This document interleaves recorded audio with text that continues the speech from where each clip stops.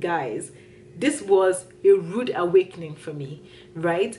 Because i've never seen an airport that was so dead in my life. Like there were only two shops at heathrow terminal 2 that were open and it was w.h smith and boots. Just imagine that. All the designer stores were closed. All the food um, hot food stores the restaurants were closed. Everything. Like it felt like literally like a morgue in the airport. Like honestly like it took the joy out of traveling for me like it definitely took the joy out of traveling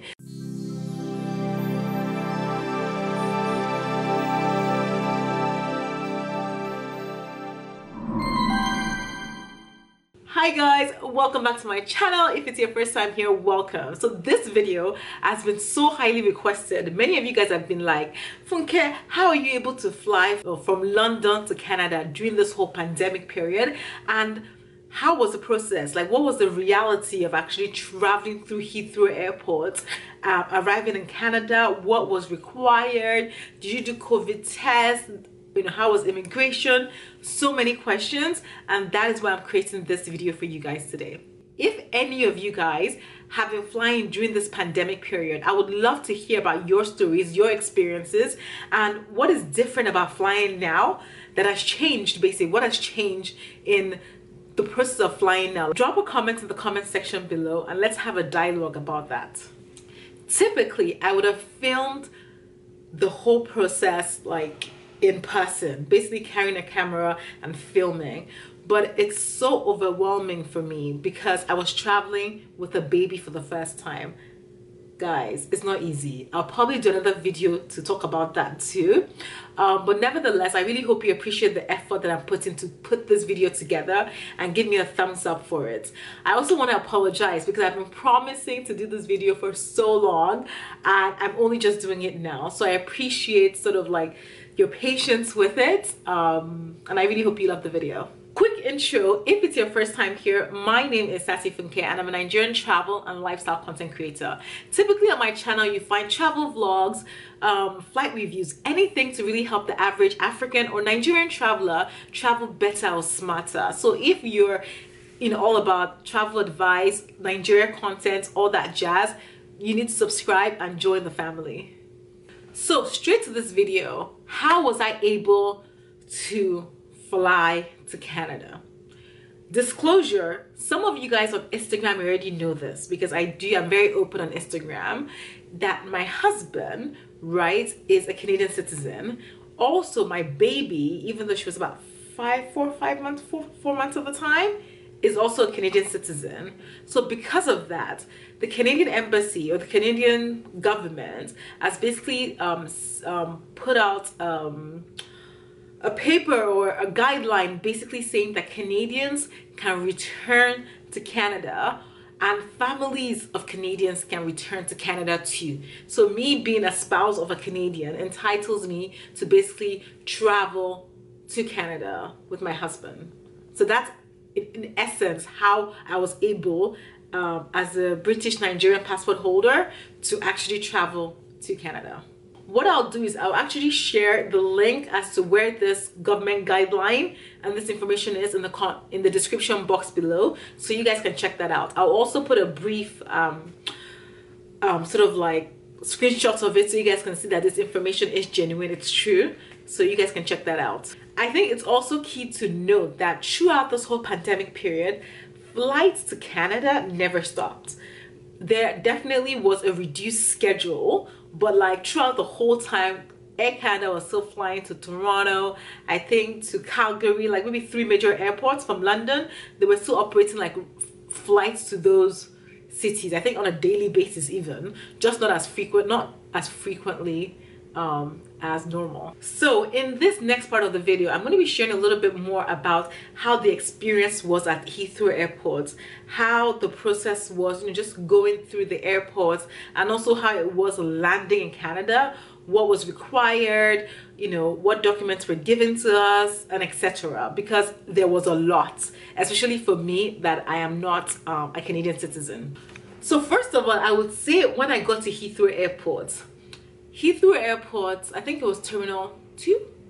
2 or 4? I'll clarify that. It was the Queen's Terminal though. And on getting to the airport, they made a point to say that everybody had to basically wear masks once they got to the airport. And not only that, um, there were signs everywhere in terms of like social distancing.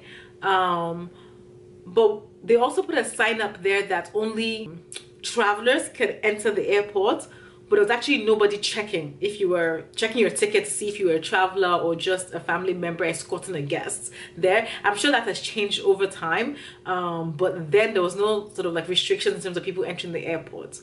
So that was sort of the process getting into the airport.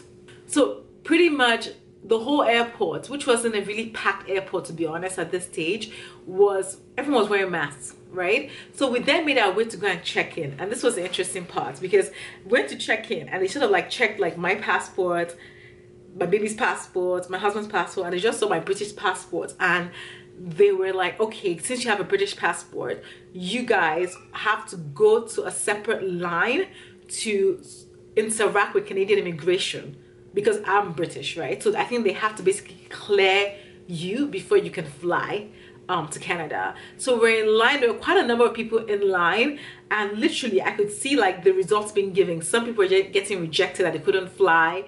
Um, when I got to the counter, the lady was basically speaking to somebody in, in Canadian immigration and she will be passing on information I gave her based on the question she asked me to the guy. She basically then checked that she requested for my marriage certificate to confirm that indeed I was actually married to a Canadian citizen. So fast forward 15 minutes later, they basically gave uh, approval saying that yes, I'm allowed to travel.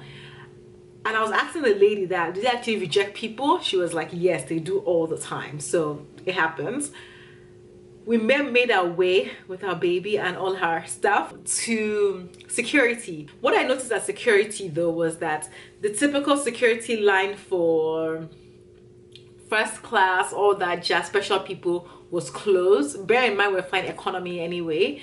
And everybody was made to sort of go through the sort of like general admission line for security. Security wasn't too too bad to be honest. It was quite smooth. There was nothing different from the norm. Um, it like from the norm.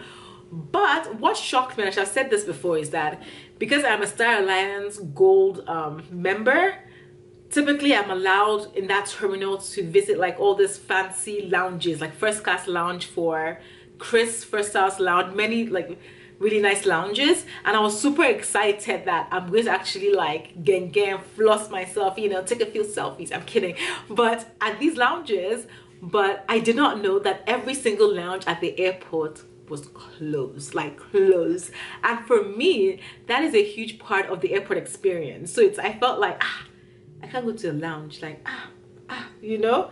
I think that was painful. That was painful for me because I was expecting to eat some free food and chillax, but that was the, yeah so that wasn't going to happen. But on arrival at the departure hall guys this was a rude awakening for me right?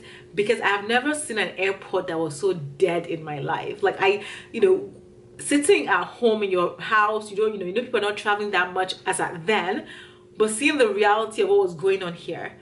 There were only two shops at Heathrow Terminal 2 that were open and it was W.H. Smith and Boots. Just imagine that all the designer stores were closed, all the food, um, hot food stores, the restaurants were closed, everything. Like it felt like literally like a morgue in the airport. Like honestly, like it took the joy out of traveling for me. Like it definitely took the joy out of traveling. Nevertheless, I went to WH Smith, got myself a cold no i went to boots got myself a cold sandwich i hate cold sandwiches so badly but we had no choice so we just got it like that.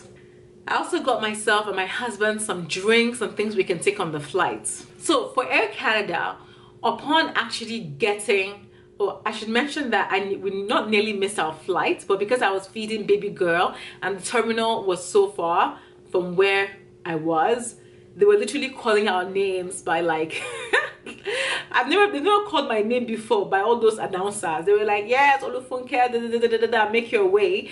So we're literally like running with the baby, everything to get to the um to get to the plane on time.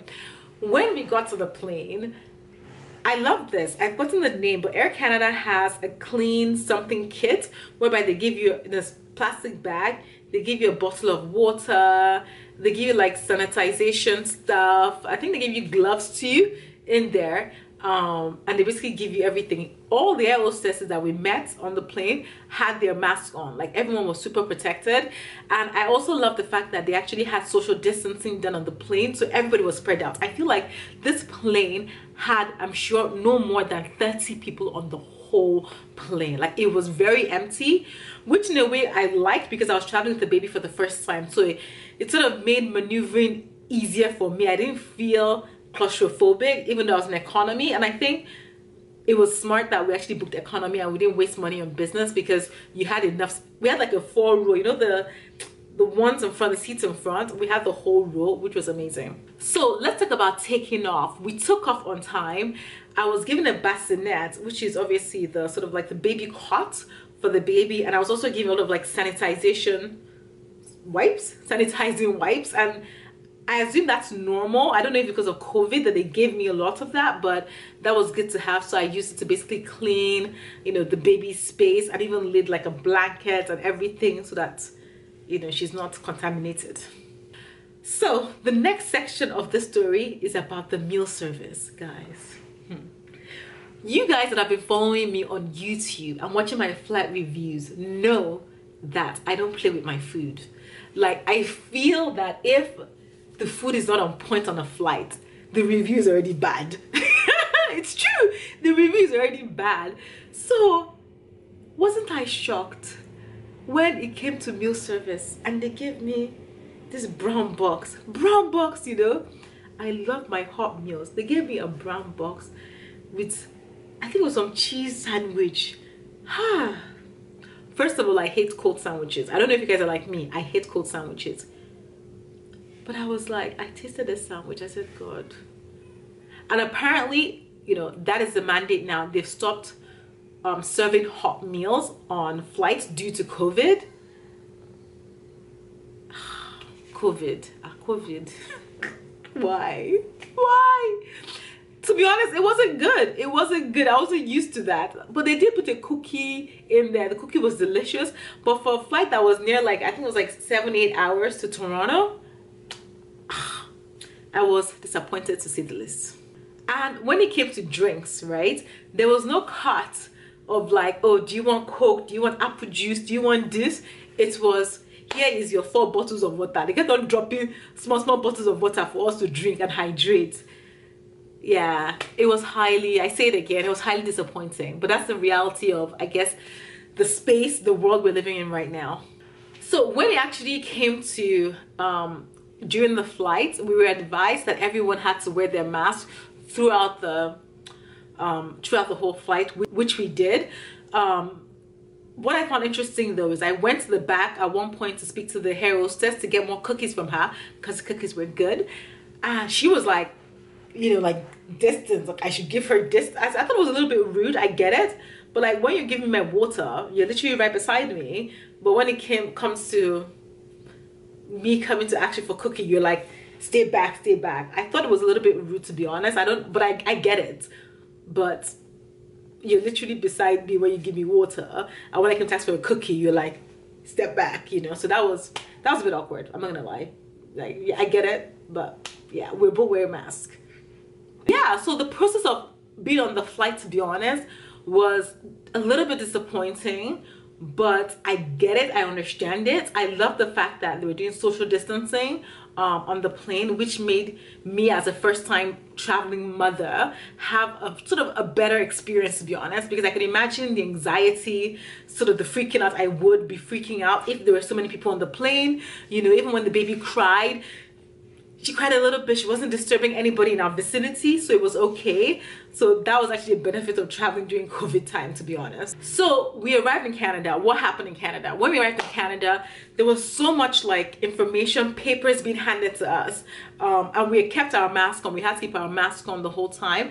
We had to fill some forms and some of these forms basically we had to put in where we're going to be isolating for 14 days because Canada at the time and I believe still now if you're coming to Canada from internationally from an international destination, you actually have to isolate somewhere for 14 days and you have to give the government your information on where exactly you're going to be isolating for.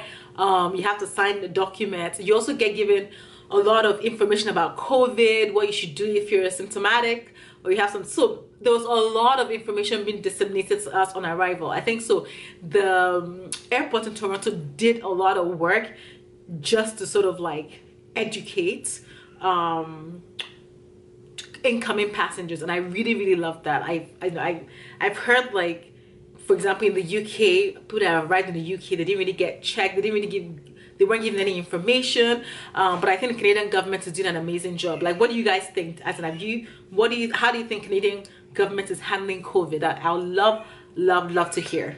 So guys, as I said, there was a self-isolation policy of 14 days. We did our 14 day self-isolation um, and everything was fine and yeah so i'm in canada so you guys I really hope I didn't rush through that so much. If you have any questions, make sure you drop it in the comment section below so that I can answer them for you.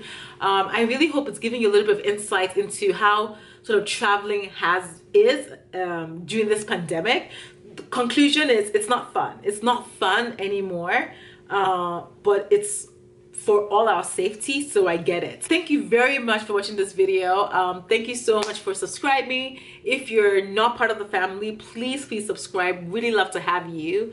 Um, yes, thank you so much and I will see you on my next video. Bye.